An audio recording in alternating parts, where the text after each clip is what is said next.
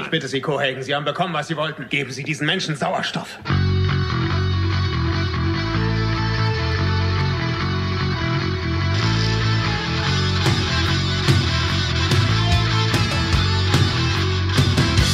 Scheiße!